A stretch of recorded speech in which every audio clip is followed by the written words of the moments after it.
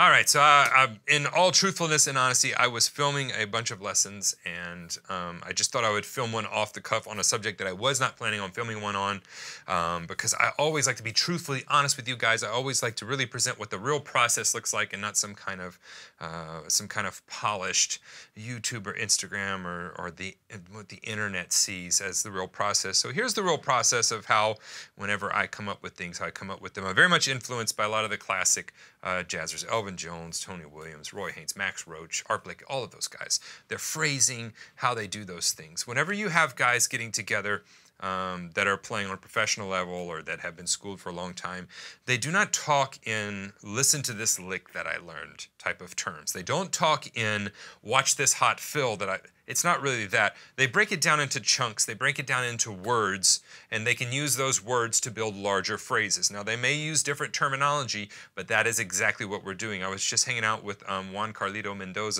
uh, not too long ago, uh, a fantastic talent, middle school band director. I wish my band director played like him. And we were going through that, and that's what we that's what he was going. I've been working on this sticking, but you know, and it turns around, you can make a melody with it like this, and then I'm working the kick drum through a grid, and then I'm doing this. So I want to do exactly that in this lesson. Who knows how it'll come out? I don't know. I haven't really planned this thing. I just thought I'd talk on this topic and um, and adjust my floor tom as we're going and um, and show you my process for how I would work out a phrase uh, or a word that I'm working on. So let's take a very simple one.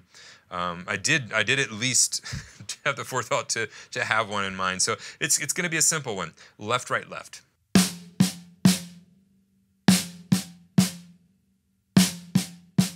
You're like, Stephen, that's really easy. Yes, it is. It's very easy, so you can do it. Now, let's use that as a building block, okay? So we have this. I would practice it over. Okay, easy enough. I got it. Then I would go, okay, well, what could I do next that would maybe add something to it? Maybe I put a kick drum before that, and that would be kind of fun.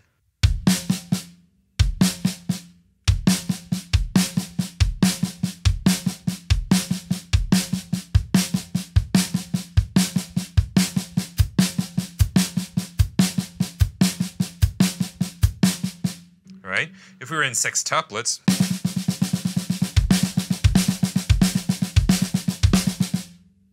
okay, so right there we've got something that we could use, okay? Now, I would, okay, well, what, what else could I do to that? Well, let's add a flam on that. And so with the left, the first left, we're gonna add a left-handed flam. Now, those of you that know your rudiment, that is a flam accent. So we're adding a flam accent. And we have a kick at the front of it. It's just a phrase. I don't have subdivisions or a time signature or anything right now. It's just a phrase.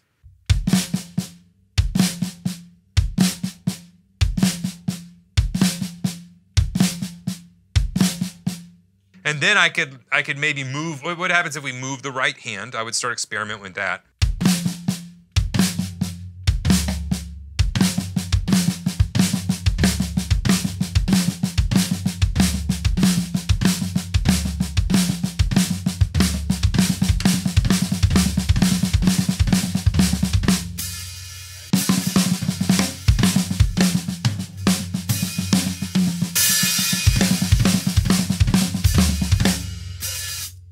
So it's just kind of a fun phrase at this point. Later we can worry about 16th notes, sextuplets, 32nd notes, whatever that may be. Um, what happens if I move the left hand too? Let's move the left hand to the high tom. That's kind of cool.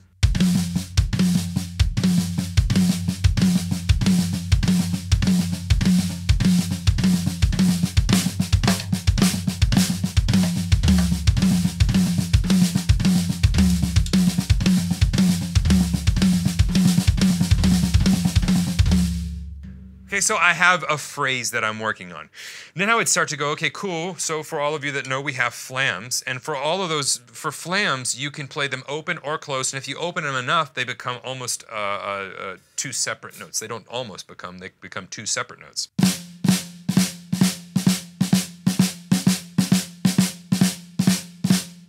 Right? Just slightly opening them and slightly closing them.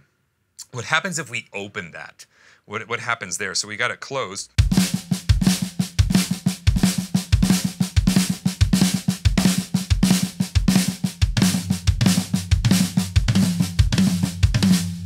So it's a it's a small variation, but I, I kind of like it. We're closed.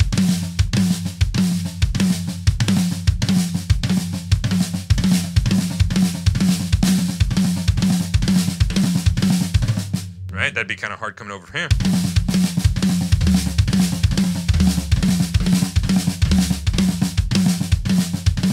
Close it up more.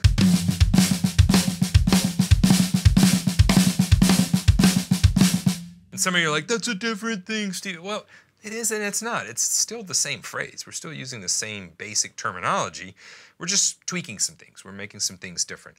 Okay, and so um, that would definitely be something that I could use if I was in a soloing uh, type of, a, of environment.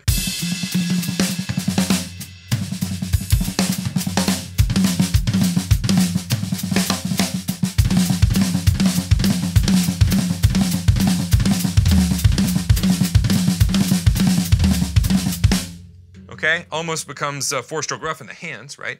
Uh, so we we have that. That's kind of cool. I kind of like that. Um, now, what else could we change about this? I'm literally just kind of kind of winging this. um, the next thing I would do is I would adjust the kick. So what could I do with that kick? And the, and the most logical thing for me would be, what if we doubled the kick in the same amount of time? So instead of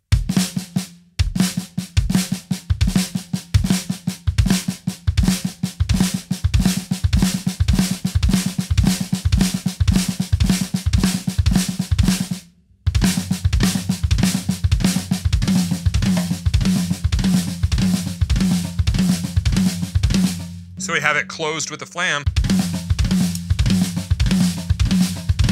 Or open it up.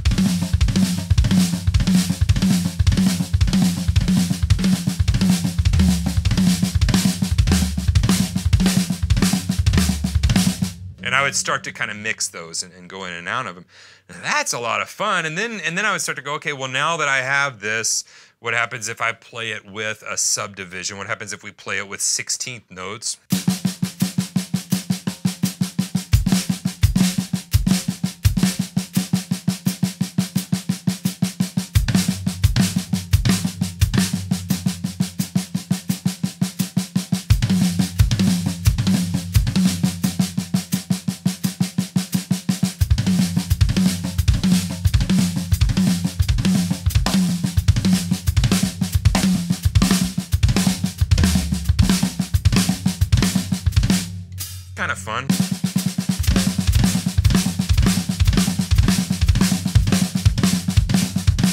And then you can put some space in there.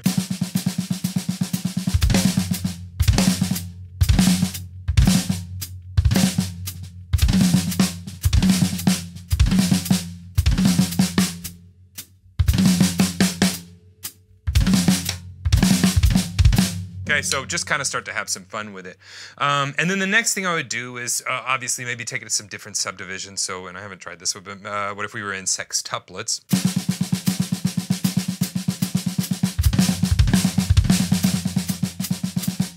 That's harder than I think.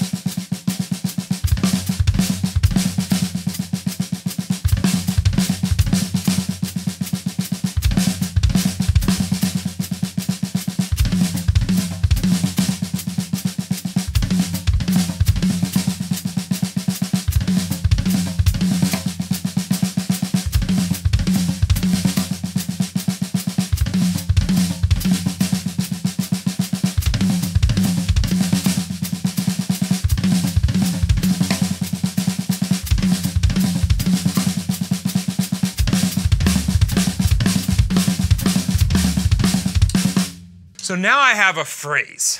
And it's not up to me to decide how you use that phrase. It's up to you to decide how you use that phrase. It's up to you to come up with a drum fill with it. It's up to you to learn how to solo with it. It's up I would need to sit in here and work it out and be like, "Oh, what else could I do with this?" Right? So it's up to you to decide how you use that word and what other words you put with it to make a phrase. And there's a lot of things we could put with that to make very simple phrases, including space. A lot of you don't use enough space in your playing. So you could use some space in there, and space is a beautiful word to put in there. Sometimes the best thing to say is nothing at all. That goes for life too. a lot of times for me, like just keep your mouth shut. Um, it, it's it's it's a beautiful thing. Space is. So begin to think in the drums in a melodic terms. Begin to think of them in um, more phrasing than you are how many notes can I fit in. Uh, begin to think in pocket and groove, and how can I stay within the groove but still play something that's fun like this? This is this almost re is reminiscent to me of like a Steve Gaddish lick or or uh, something like Warren Haynes may do. Um, uh, reminds me of that for some reason. Um, so, what are your thoughts? How do you go about the creative process? Have you ever thought in terms like this instead of learning just a drum fill? Have you ever thought, hey, let me just learn a phrase and then see what all the different things I can do with that? Let me know in the comments below. As well, we'll include some sheet music with this that kind of breaks out some of the basic things that I was breaking out. That'll be in a pinned comment below this or in the video description. If you haven't subscribed to the channel yet, I don't know what you're doing. Uh, usually the lessons are a lot more organized than this, but this one, hey, it's real life. I want to just always be real with you guys. So as well, if you are uh, subscribed, hit that notifications bell so that you're updated whenever whenever new videos um, are uploaded here. And if you ever need help with your drumming, if you ever need an organized program, a system to help you go through your practice time, jump over to the website uh, and go through the Drum Better Daily program. It's a membership program, and uh, it's for everyone from beginner, if you're just starting out, to the very advanced players. I'd love to have you be a part of the community. It's a, it's a lot of awesome people in there. But whatever you do, I'll see you here in the next video.